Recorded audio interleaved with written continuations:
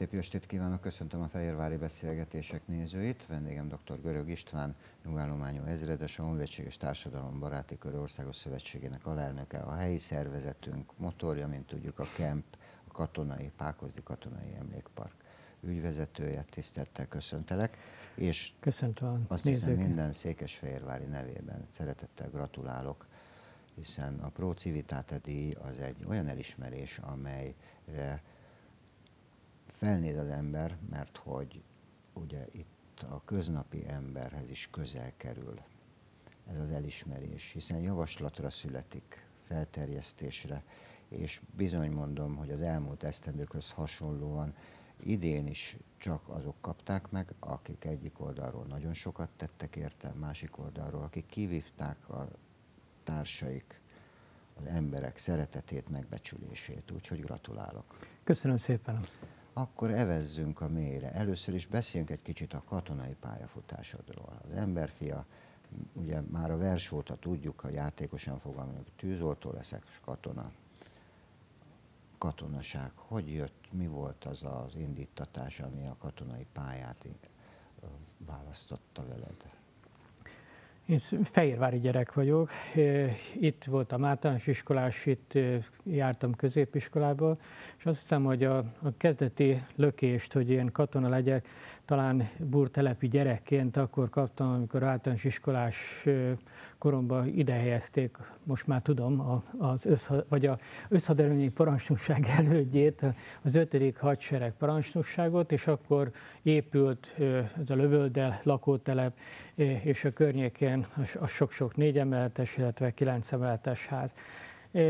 És ez a 60-as évek elején nagyon modern lakások voltak, az odaig került gyerekek számunkra, vagy számomra, és azt hiszem ilyen bútelebi gyerekek számára is felnéztünk rájuk, mert azok világot látottak voltak, már több városból szolgáltak a szüleik előtte, és természetesen ők is Szolnokról, Budapestről érkeztek ide Fehérvára. Tehát, hogyha tetszik, ők többet láttak, mint adott esetben én az Rényi utcában talán valahol tudat alatt ez fogalmazódott meg először, hogy, hogy ez, ez nem is lehet olyan rossz pálya. Aztán a Vasvárit végeztem, és a Vasvári harmad év folyamánál ott már azt hiszem, hogy előtűnt, ahogy a, akkor Román Károly tanár úr, meg Soboronta tanár úr mondták, hogy, hogy hát azért egy dologhoz értek, hogy valahogy az embereket meg tudom győzködni, és ennek megfelelően javasolták, hogy hát ők engem vagy papnak tudnak elképzelni, vagy, vagy katonának, hát ez az utóbbi lehet, ez összességében így alakul. Hogy választottál szakirányt magadnak? Hiszen... Én, én nagyon vonzódtam a, a híradás technikához. Az MHS-ben rókavadász voltam, ez a rádió iránymérő, H4KYB nevezetű rádióállomáson operátorkodtam, tehát összességében a 60-as évek legvétén, 69-70-ben már ott komoly komoly szerepet töltöttem be, és ennek megfelelően én úgy gondoltam, hogy ha, ha már katona leszek, akkor valószínű híradó leszek, de ettől függetlenül valahogy úgy alakult, hogy, hogy nem az lettem, hanem, hanem gépesített lövész, ami, amit én kimondottan megtiszteltetésnek éreztem. Ezt akkoriban úgy tartották, hogy a, hát a, a, harcmezőknek ők a, a, a mindene, a, a lövészek. És hát ennek megfelelően én ezt komolyan vettem ezt a szerepet, és megpróbáltam maximálisan erre felkészülni. Azt hiszem, hogy a katonai főiskolán végig ilyen élenjáró, kiváló hallgatóként a jobbak között szerepeltem, és ennek lett az az eredménye, hogy amikor 1978. augusztus 20-án felavattak, akkor választhattam, és így Nagykanizsára az akkori elitezredhez kerültem. Itt szolgáltam egészen 82-ig, 82-től a 8. hadosztályparancsnokságon Zalaegerszegen, és 84-be kerültem át Székesfehérvárra az akkori nagy parancsnokságra, eh, ahogy akkor köszöntött Morosz Lajos akkori parancsnok, hogy minden idők legfiatalabb katonájaként. Hát természetesen az akkor volt, azóta már fiatalabbak Igen. is kerülnek ilyen beosztani. Abban egyetértünk, hogy katonak, katonának lenni rang volt a rangon túl is, és az egyenruhát megbecsülés kísérte. Így van ez ma is egyébként, de azért a, ne feledjük, hogy még a rendszerváltás előtt vagyunk, ahol tényleg egy kicsit más volt, egy kicsit. Hát nagyon más Még volt. nem voltak szakállas katonák.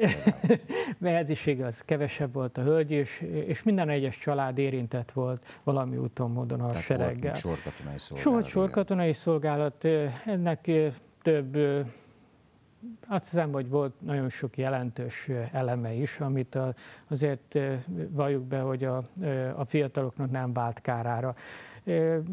Nem biztos, hogy mondjuk 24 hónap, minden hónapja értelmes, vagy, vagy hogy mondjam, kihívásokkal teli programmal telt, de azért a, annak a többsége, mondjuk a 24-ből 16 hónapot azért el tudott számolni mindenki És nem úgy, csak hogy azért, épül. hogy nem vált hogy van most miről beszélni, mert a ámuló szemek és tátott szájak kísérik a katona történeteinket, a sorkatonáságról, mert hogy az ugye elképzelhetetlen, hanem azért is igenis azért rendszerességre, fegyelemre szoktatott, és ez ránk fért akkor is, és szerintem ma is.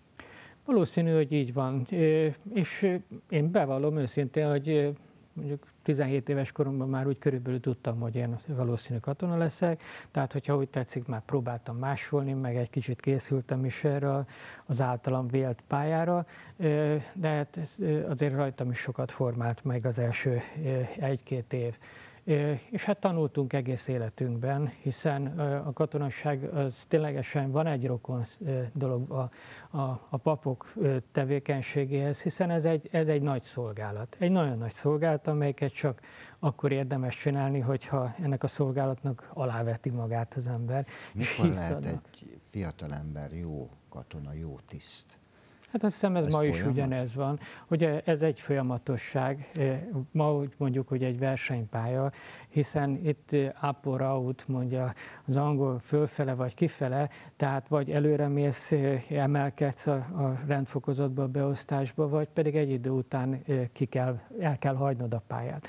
Ez azt hiszem, hogy a, a régi világban is így volt, még akkor is, hogyha ha úgy gondoltuk, hogy a Kossuth tértől a, a, a nyugdíjig elvisz bennünket a hadsereg, vagy a, patetikusan a sírig elkísér, ez, ez, ez mindenképpen egy, egy, egy alázatot követelt, mindenképpen egy, egy folyamatos szolgálatot, egy készenlétet követelt.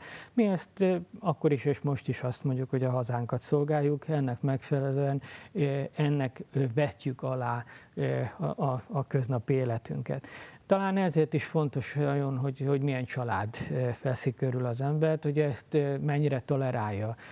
És adott esetben családokon belül, hogyha mondjuk a párja az embernek szintén valamilyen olyan pályát választ, amely egy hivatás, abban az esetben bizony ezt folyamatosan egyeztetni kell, hogy mind a kettő meg tudjon felelni ennek a hivatásnak. Az én esetemben például így. Így történt. A rang mindig jelent valamit. És ahogy néztem, a szakmai pályafutásod egyenletes volt, tehát a, a lépcső felfelé évelt mindenféle, a, nyilván a szakirányon belül is, hiszen elismert vezető törzstiszt, főtiszt lettél. A, melyik volt az a pillanat, amikor azt mondtad, hogy ez így tökéletesen rendben van, de tovább kell lépnem, és egy kicsivel más is foglalkozni, a katonaságon belül. Itt gondolok a, az egyetemi tanulmányaidra, hadd mondjam már ki végre. É, Hiszen doktor való... Görög István tiszteltünk meg. Nagyon szépen köszönöm, de Hát hál' Istennek az utóbbi évtizedekben ez nem annyira unikális az, hogy valaki eljut oda, hogy a tudomány területének a, a doktora lehet. Ennek több oka van. Egyszer az, hogy a Zrínyi Miklós Nemzetvédelmi Egyetem egyetemi rangú intézményként doktori iskolával rendelkezett, és a doktori iskolában természetesen katonák, rendőrök felvételizhettünk, és ennek megfelelően a doktori iskola elvégzését követően, ha meg tudtuk védeni a, a munkánkat, akkor a doktori diszertáció megvédését követően ennek a címnek a birtokosai lehetünk. A, ez, azt, azt látni kell, hogy a, és a civilek gyakran rá szoktak kérdezni, hogy hát nagyon sok időt töltöttök ti, mondják ők, egyenruhásként iskolapadban. Úgyhogy ez egy nagyon nagy hát luxus, gondolják ők.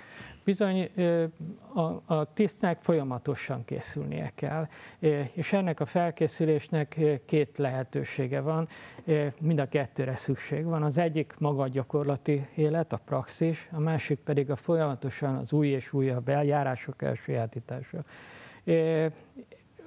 Én is így voltam, és ennek az eredménye az, hogy hogy az 1980-as években már tanulhattam, elvégezhettem az Rényi Miklós Nemzetvédelmi Egyetemet, majd ezt követően levelezően elvégeztem az Ötvös Lodán Tudomány Egyetemet, ahol pedagógiát hallgattam, ezt követően elvégeztem a vezérkarit, akadémiát, ezt követően, vagy ezt megelőzően közben nyelvet tanulhattam, és a végén egy három éves doktori iskola is belefért. Ez mind munka mellett van. Tehát ez azért hozzá kell tenni, hogy ez bizony elég sok lekötöttséget ad. Ha a következő kérdéseimet meghallják a nézők, akkor majd csodálkozni fognak, hogy hogy minden fért bele 24 órába, hiszen óvatatlan is jön. Először is egy dolgot hadd kérdezzek meg, Hiányzik-e neked a Tiszti Klub? Egy, ez egy fontos kérdés, aztán induljunk el egy kicsit a Honvédség és Társadalombaráti Kör felé, hiszen ez egy olyan egyesület, egy olyan kezdeményezés, ami nagyon-nagyon fontos számunkra, és nem csak a katonák számára, hanem a civil társadalomnak is. És a harmadik, ami a legfontosabb, ahol most is élsz, és hála Istennek remekül megy Nemzeti Emlékhelyen, eleve Nemzeti Emlékhely, illetve a Pákozi Katonai Emlékpark. Kezdjük a Tiszti Klubban. Én megélhettem itt Fehérváron a középiskolás koromat, és emlékszem az akkori tisztiklubra, emlékszem annak a a, a nagyon ilyen, most így mondom, hogy elit jellegére is egy kicsit olyan kiválasztottak voltak, akik oda mehettek, vagy hogyha úgy tetszik, meghívást kaptak. Aztán a 80-as évek közepén, amikor itt szolgálhattam, akkor is tanulja voltam annak, hogy milyen tartalmas programok és kulturális programok voltak. Nagyon erős, gyönyörű könyvtára volt, kiváló könyvtárossal, rengeteg klub foglalkozás volt, különböző szakkörök működtek. Ennek az akkori létesítménynek a fő feladata az volt, hogy, hogy a tiszti kart összetartsa, és a tiszti karnak adjon egy, egy testületi jelleget, erősítő tartást, ha úgy tetszik. Ez azért sok minden hozzátartozott. Hozzátartozott az, hogy akkoriban zárt lakótelepek voltak, hiszen csak itt az Esperanto környékén, amik vannak házak, ide közel volt ugye a tisztiklub. Itt azért szinte egy tömbbe éltek a katonák. Vagy a, hadd emlékeztessek arra, hogy a 80-as évek végéig este 7 órakor megnyomták Fehérváron a csengőt, és a civilek ehhez iragazították az óráikat, hiszen az, az pontosan 7 órakor volt. Ez volt a riadó csengő.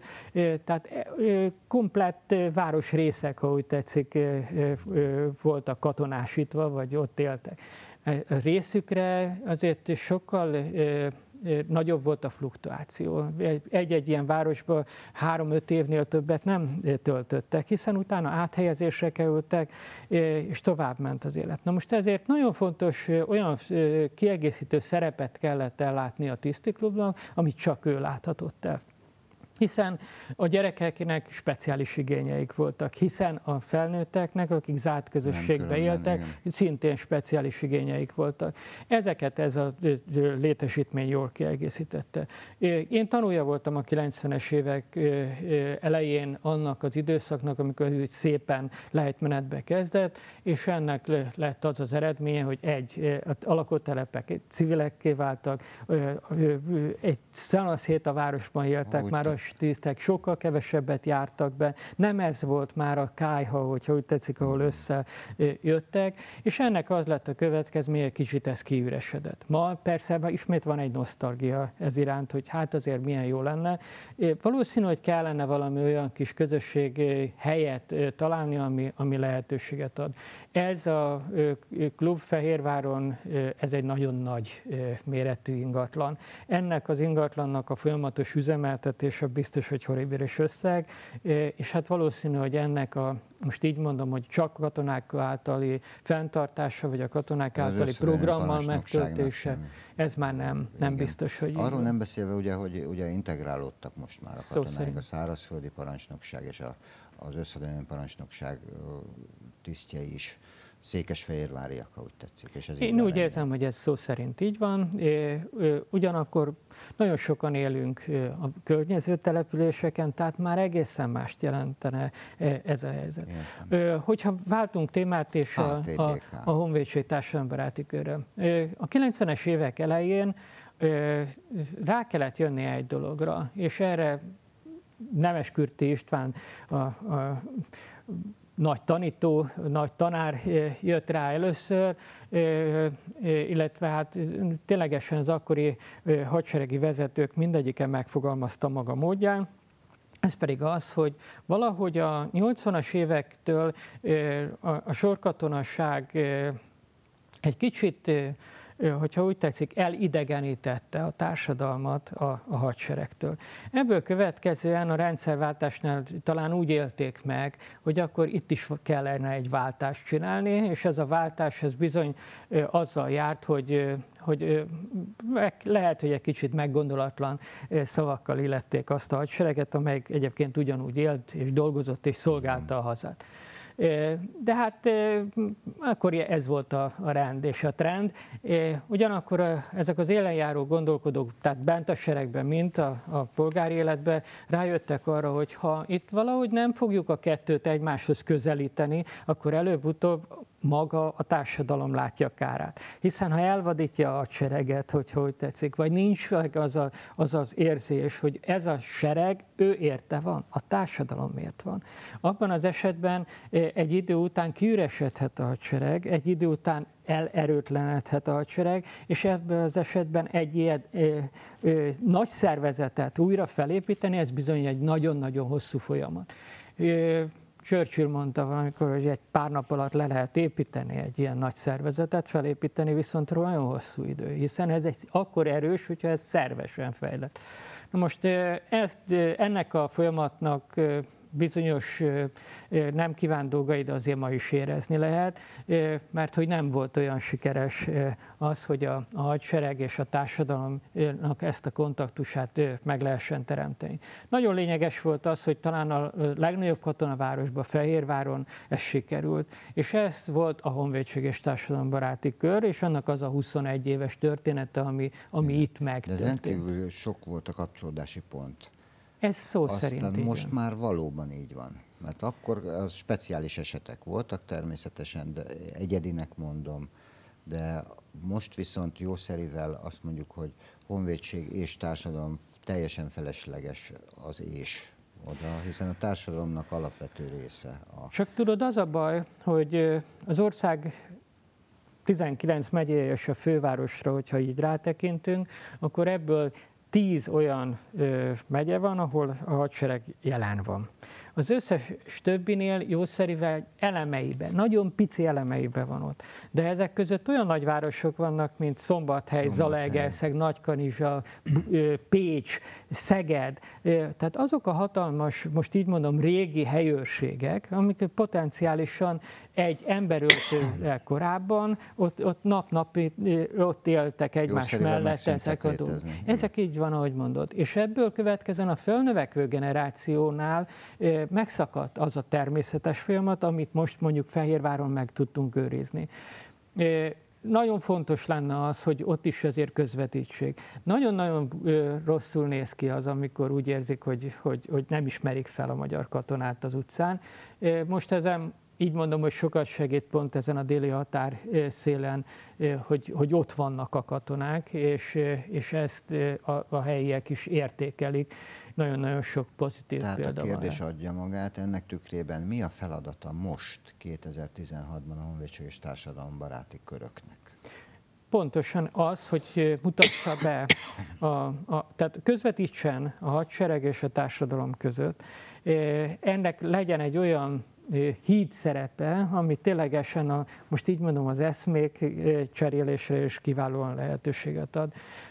Igenis az kell, hogy a, a társadalom igényeit elmondja a hadseregnek. Ezzel meg, egy megerősítve sok esetben a sereget, hogy igenis fontos feladatokat lát el. Ugyanakkor tudnia kell a társadalmi folyamatokról a magának a hadseregnek is. Ez most az elmúlt húsz évben úgy érzem, hogy már nem annyira karakteres, mint a, a kezdeti időszakban volt. Pont azért, mert ahogy fogalmaztál, és a hadsereg tagjai nagyon integrálódtak a, a társadalomba, sokkal elevenebben él bennük, vagy, vagy alkalmazkodnak a, a társadalmi folyamatokhoz. Ez azt hiszem, hogy sok minden folyamat hozzásegítette, beleértve abba, hogy ez az elzártság oldódott, és sok minden egyéb. Egy kicsit másabb funkciói vannak, de én úgy érzem, hogy ez nem azt jelenti, hogy meg kell szüntetni ezt. És a következő, ami nagyon fontos, ez az ifjúság nevelése. Az, hogy minden nap új korosztály kezdődik, és ezek az újabb és újabb sorványok részére valahol közvetíteni kell azt, hogy a katonák igenis fontos feladatot töltenek be a társadalmi munka megosztásban, és ehhez erről tudniuk kell. Hiszen, ha nem tudnak róla, akkor egyszerű adófizetőként, vagy, vagy szavazó polgárként el fogja irigyelni a katonától az, amit ő ráköltenek. No, Pákozdi katonai emlékhely. Az én koromban a fiatal annyit tudott Pákozról, hogy 1849. szeptember 29-én Móga János altábornál nem folytatom. Ennyit tudtunk, és hogy esztendőként egyszer van egy ünnepség, és ennyi volt tulajdonképpen. És Jelas is. És De... Is fut Bécs felé, Jeles is a gyáva, seregének seregünk utána, igen, megrémülve a magyar hattól, a magyar hadban meg egy vén zászlótartó, ez a Petőfi vers, ez ment uh-huh. örökké, szeptember 29-én szavaltuk. Utána jött valaki, gondolkodó emberek, akik elindítottak egy folyamatot, mert ez jelenleg is egy folyamat, legalábbis én bízom benne, hogy egy folyamat, tehát nincs vége, hogy most ott tartunk, és erről az egy kicsit majd ejtsünk szót, hogy ott van nekünk a szabadságharc 48-49-es, az első világháború, már beszélhetünk róla, a második világháború, az 56-os forradalom, és természetesen ott vannak a misszióban szereplő katonáink jelenleg is, és ezt mind összegyűjtötte egy kerek teljes egész a vezetéseddel, és most már nemzeti emlékhelyen Pákozdon. Hát ez az, ez az origó. A hadsereg innen kezdődött, ez volt a, a tűzkeressége, és ez a szimbolikus hely üres, hogyha úgy tetszik, adott. Nagyon-nagyon sok csatatér a világon szent helyként volt megjelölve évszázadokon keresztül, csak jött az urbanizáció, és szépen beépültek, és hogyha úgy tetszik, már csak úgy a, úgy, úgy, úgy a szellemisége van meg, hogyha ápolják. Ezt is viszont bennünk él, mint minden ilyen szellemi termék. Ennek megfelelően, hogyha mi átadjuk a következőknek, és abba is valahogy éleszteni tudjuk, hogy belül meg tudják élni ezt a, az élményt, hogy ott vannak azon a helyen, ahol őseik harca folyt, abban az esetben ennek van jelentősége. Hogyha nincs, akkor ez az egész egy kiüresedett dolog lesz, és maximum annyi fog megmaradni, hogy hát volt költő, aki erről írt, és esetleg megtanulható valamelyik általános iskolai osztály szintjén.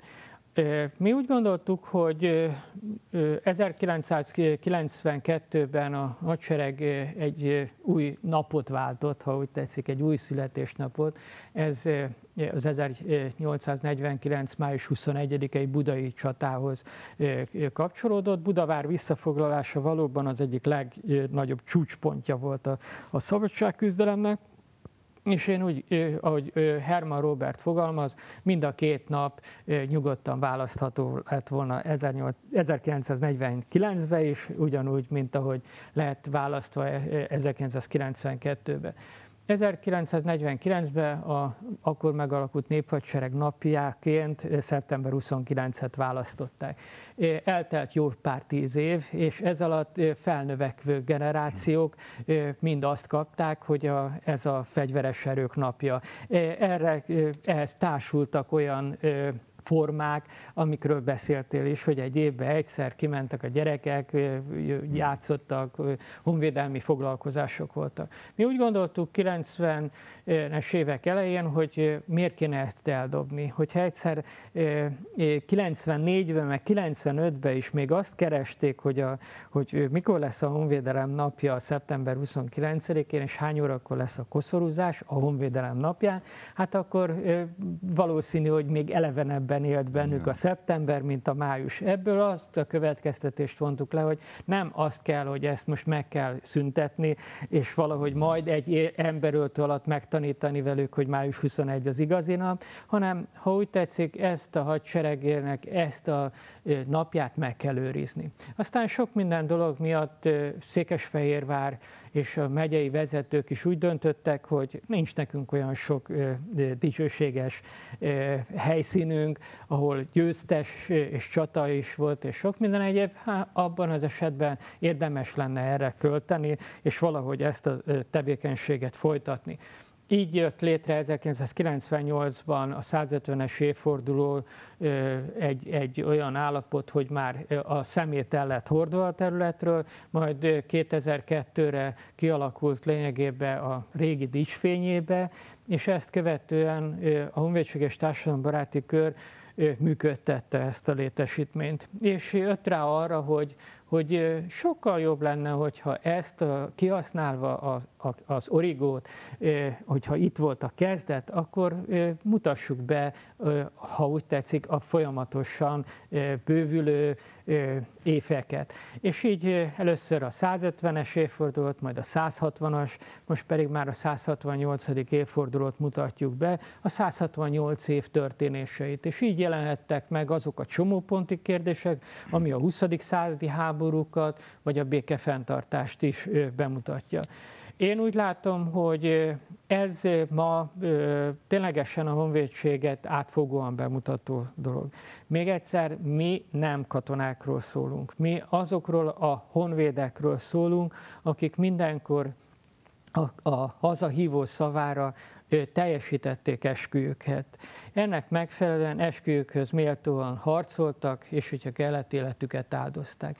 Itt név nélküli katonák, és az a fontos üzenete ennek a dolognak, hogy az új, új és újabb generációk ugyanúgy benne részesei ennek a nemzetvédelemnek. Mm és ennek a nemzetvédelemnek csak akkor lehetnek ők részesei, hogyha egyszer elgondolkodnak azon, hogy hát egyszer ő is lesz majd Igen. katona, hogyha nem lesz sorkatona. Ebben nagyon sok méltóság és felelősség is van, és azt hiszem, hogy nagyon is jól tudjuk, számtalan rendezvényen veszünk részt, és tudósítunk róla, hogy jól mennek a dolgok Pákozdon. Amikor megkaptad az elismerésről a értesítést, a feszes katona lelkedben tisztelektél önmagadnak, vagy elgondolkodtál rajta, hogy lám, lám, mégiscsak jól csináltam valamit, ha egyszer ennyire gondolnak ránk, hiszen ez nem egyedi eset, hogy, hogy elismerésben részesül. Hát számomra most ez egy egyedi eset. Ugyan 1909, illetve 2004-ben én megkaphattam Székesfehérvárért emlékérmet is, és azt is nagyon-nagyon nagy büszkeséggel viseltem, vagy, vagy gondoltam rá. Akkor is és most is úgy érzem, hogy ez a tevékenység egy, egy személynek szól, de ugyanakkor egy, egy csapatnak a, a küzdködésének az eredménye, és hát ennek a csapatnak tartozom köszönettel. Ténylegesen a kezdet-kezdetétől, Gyurica Bélától kezdve sok-sok-sok szemét sorolhatnék, akiknek, akiknek köszönhetem azt, hogy ez is az ő bizalmukból mellettük tevékenykedhettem, rengeteg dolgot megtanulhattam tőlük, elsajátíthattam tőlük. Én úgy gondolom, hogy ténylegesen katonák között van egy mondás, ami szerint ha kitüntetést kapunk, akkor egyet kapunk, és azt én viselem.